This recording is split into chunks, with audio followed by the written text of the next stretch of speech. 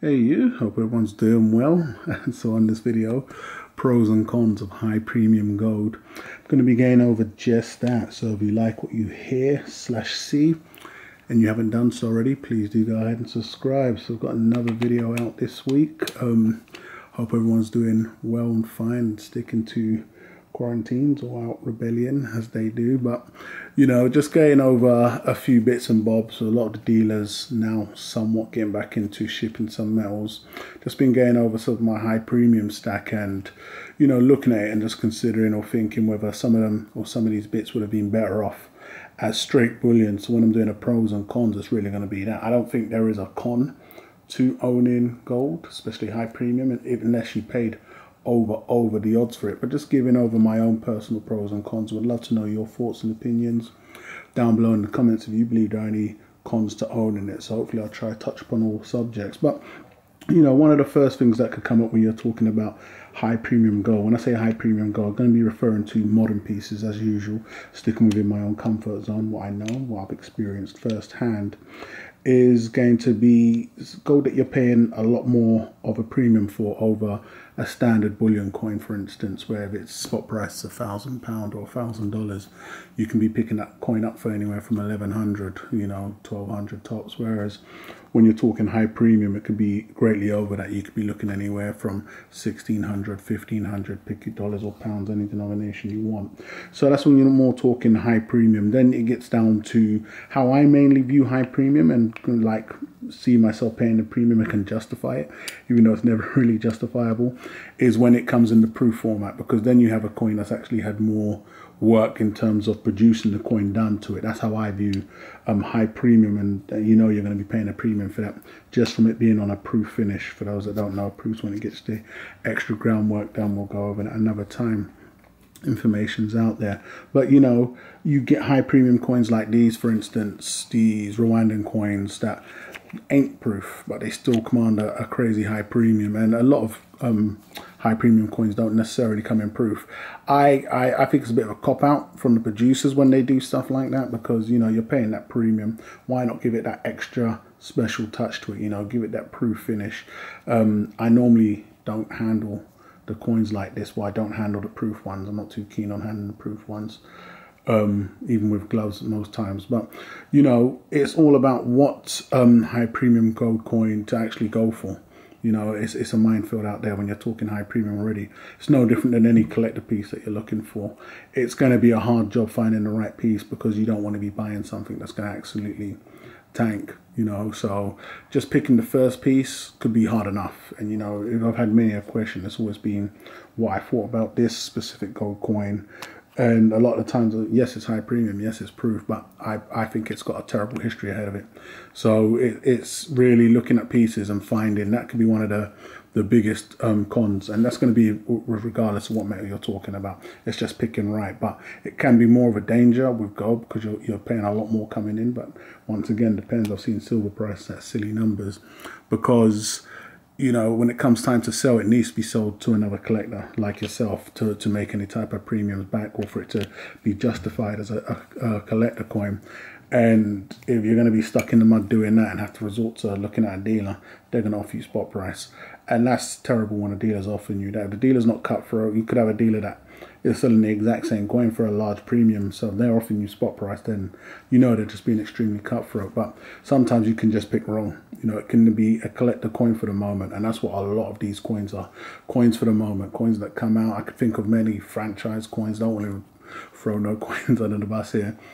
And at the moment, they're hot and you know at, at that moment. I don't know a coin, a, a, film may be out under that franchise, or you know it, it's just the topic at the time, and then the wind blows over, and you're left with you know a gold coin that you paid a large premium for that you're now struggling with, and that that could be a bad pick also. So picking right is always going to be an issue when you're talking high premium. So that's one of the biggest pros, but um, cons, should I say. But I think it, it really stops there because from there, it really breaks down to what I'm keen and not so keen on. And, and touching back upon this, when you're talking high premium, I like personally prefer coins that don't come under this type of category. So we're looking at something that's you get it all the time and they're just changing the date, for instance, and the libs.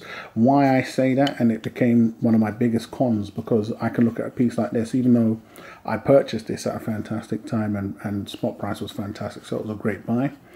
And I can look at it and basically say, would I prefer, I don't know what, this cost a set, this is from this set, not just a single coin. But, you know, I could have technically had two ounces of gold, two and a a one tenth coin, for instance, at the time, or even when I could have sold this and it could have liquidated pretty fast, would it be better in straight raw gold bullion as a foundation?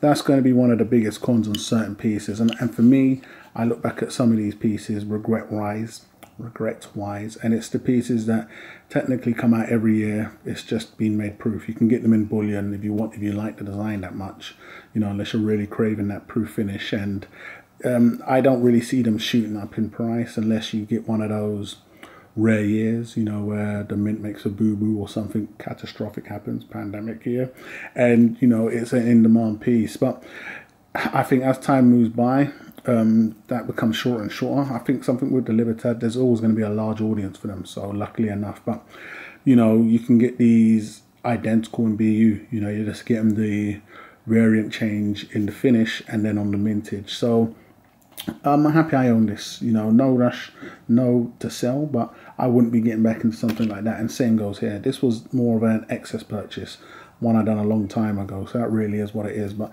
these are the cons when I look at some more of the collector pieces that I look at like that.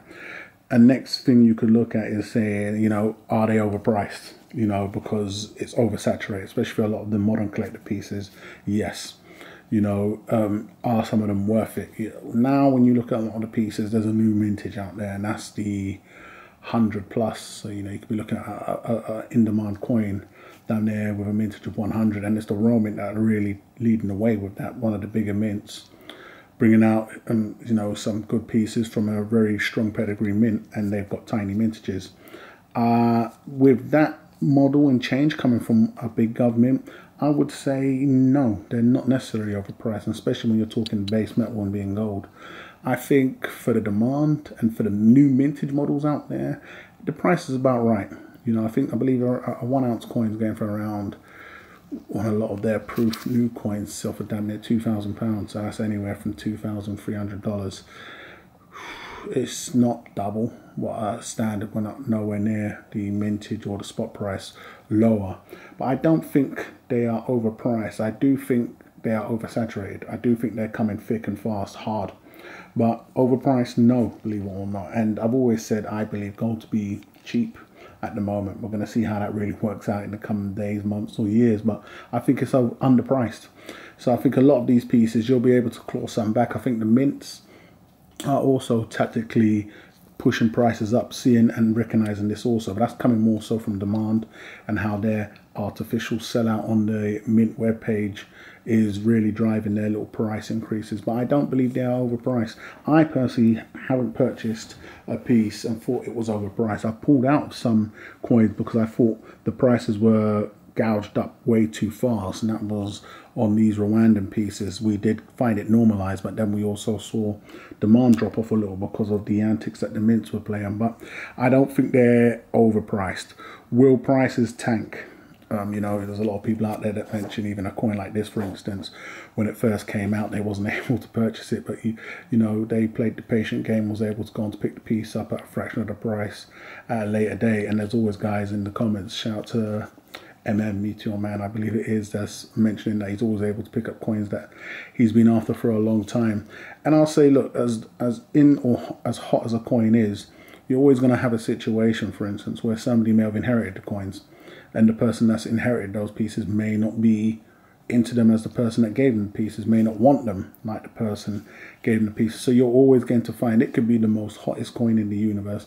You could be that day 15, 20 years from now down in your local coin shop or a pawn shop and come across this coin at spot, depending on what the spot price is then, or even an absolutely blazing hot piece. So you're always going to find a hot piece at a great deal. Someone on the planet is always going to be the case, but some pieces hold their value better than others. Some pieces are sold at time of issue uh, way overpriced. You know, they they got cocky with the price because they knew the demand was there when a lot of these pieces were released and you know they came down in price. I've purchased this damn near issue price even though no, not issue because spot was a lot cheaper, but just made a comparison now, it's somewhere around there. So I think it's all about the initial price that the mint sell them at and then where spot price will land in the months to come from purchase. But you're always going to find deals out there from a on in demand hot coin. Whether you find that in mass is a different question. I believe in some pieces that's not going to be the case. So it's a definite pro. You don't need to worry about finding it in the bargain bin at a later date. But saying now, say this, you are going to find like 90% of a lot of the coins that come from private mints in the bargain bucket at damn near spot. And that'll be the next one I'll jump on to. What is a better pick? Is a governmented coin a better option or a private mint? You know, you're looking at private mint coins right here that have done fantastic things. And it's not the only coins. Let me know in the comments some other coins from private mints. I think some private mints are, are riding the current wave, but I don't think they're going to be able to stand the test of time. And that's the case for a lot of the coins. I've put them out there before as to why I don't stack them. You know, I've been asked about the Scottsdale Mint coins. I put them in that category. I've been asked about the Germania Mint coins. I put them in that category. I've been asked about the KOMSCO Mint coins.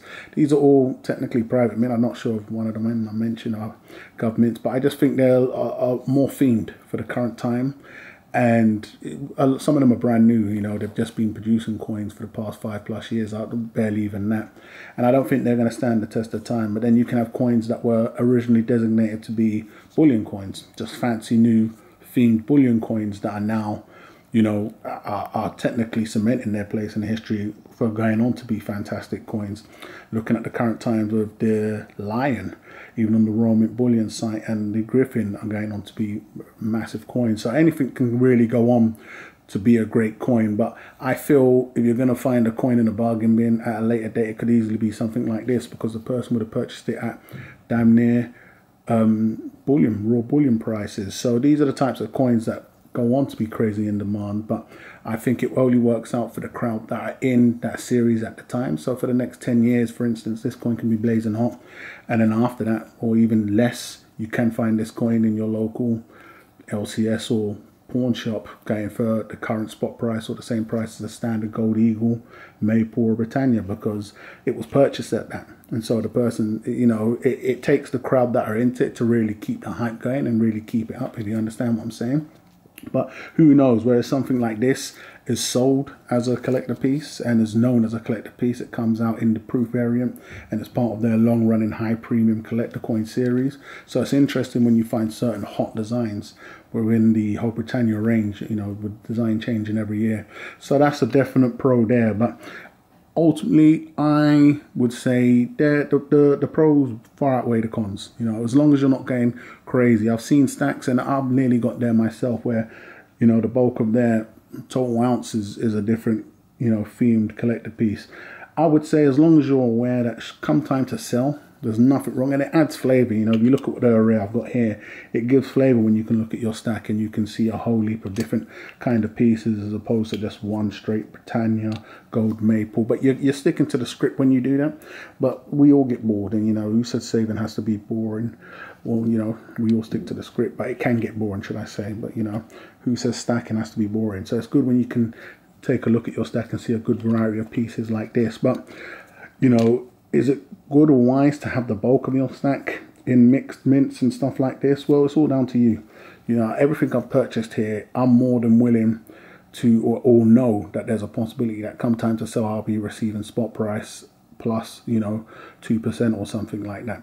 There was a time where it was best time to liquidate these coins, but uh, for me, I picked up a lot of these in multiples, so I did take absolute advantage then. So having some in the stack now going on to see how well they do at a later date. Not to forget, this is a 12 year series. I did opt out, have jumped back in because prices have normalized. We'll see how that keeps on going.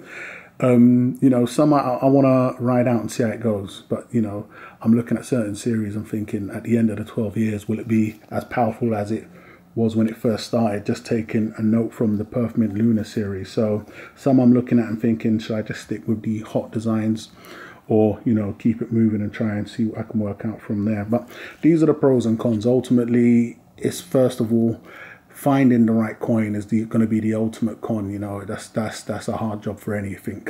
You know, ones I'm not too keen on would be a massive con are going to be from the guys that just don't rotate their designs. I think that's a con for me because I think nowadays it's better off just having it in raw bullion. The majority of the times you can get it in standard bullion anyway. I don't believe they're overpriced, so I definitely think that's a pro. And you're, you're buying something that is not the standard bullion variant, especially when it comes in the proof format.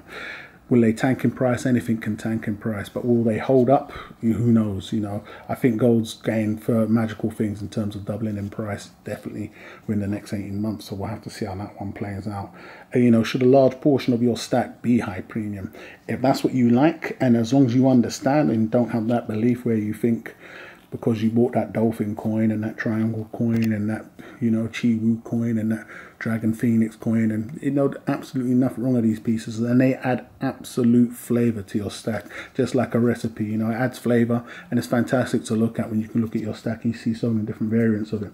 I don't think there's a danger because it's gold. I think anybody that has that luxury to be able to stack that type of way also knows and it's an absolute tiny loss when you calculate it to uh, you know owning a car or buying a brand new TV, these things get thrown into the, the skip. You know these things stick around forever, and you may need to shave off the premium you paid. It does add up, but ultimately, if you look at your life from now until you know you became aware, or should I say from the beginning until you became aware of how much you've lost there, it's nothing in comparison to having an absolute diverse you know, flavorful stack. But those are my pros and cons. Let me know your pros and cons down below in the comments to owning gold high premium bullion or do you think it should be strictly bullion and keep it as close to spot as possible? So go ahead and leave your thoughts down below in the comments. Go ahead and subscribe if you haven't done so already. And I'll catch you guys on the rebound.